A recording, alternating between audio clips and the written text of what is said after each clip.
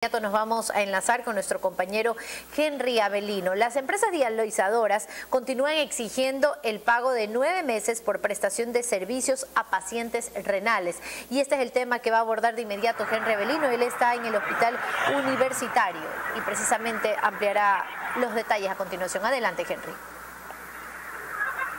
Gracias, Cintia. Sí, es el pago que el gobierno nacional debe realizar por prestación de servicios a estas empresas que están atendiendo a 16 mil personas que luchan por su vida haciéndose el tratamiento de diálisis. 16 mil personas. Son nueve meses los que se les adeudan.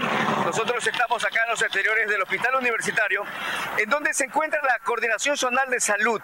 Hasta este punto diariamente viene Cristina Freire con los representantes, con los pacientes, una y otra vez a preguntar cuándo se van a poner al día. Son nueve meses en los que se debe 65 millones de dólares y la vida eh, se pone en riesgo de estas personas porque las empresas deben continuar dando.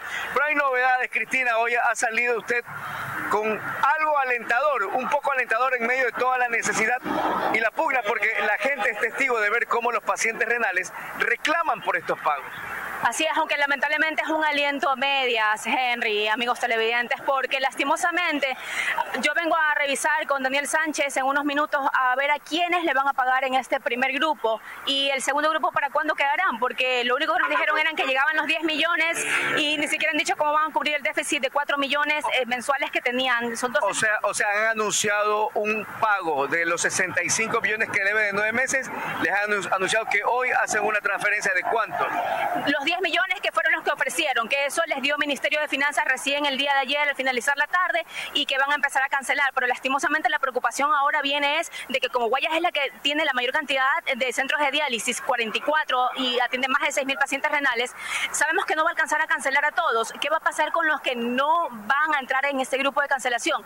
Ya hay dializadoras que no tienen insumos para más de una semana. no pueden funcionar si no se paga. Exactamente, entonces el pago tiene que ser para todos todos los meses por igual. Si no se va a cancelar a todos, ¿qué va a pasar entonces? ¿Cómo van a regularizarse en los pagos? Le están heredando el presidente electo Daniel Novoa una deuda de más de 65 millones de dólares. Y el IES también nos adeuda. Ha pedido dos a tres facturas, pero no ha acreditado, es decir, el pago no ha concluido.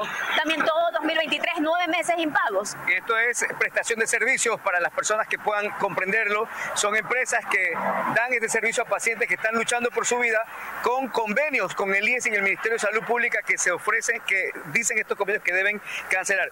¿De cuántas empresas dializadoras estamos hablando que estarían en situación vulnerable ahora al no ser canceladas? Prácticamente de las 105 dializadoras, unas 50, más o menos el 50% se quedarán impagas y habrá una protesta masiva la próxima semana si es que no se hacen pagos por igual, si no se gestionan, hagan malabares, lo que tengan que hacer ministro Pablo Rosemena, ministro José Ruales, hagan lo que tengan que hacer porque los pagos, si no se dan hasta este viernes para todas las 105 centros, eh, centros de diálisis de todo el país.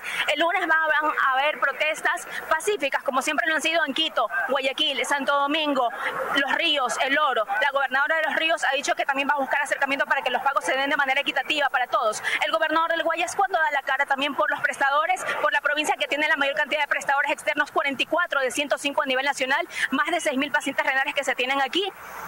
Estamos a la expectativa y los insumos se van agotando de a poco, señores. Están 16 mil vidas en riesgo. No crean que con los 10 millones que llegaron ya solucionan el tema.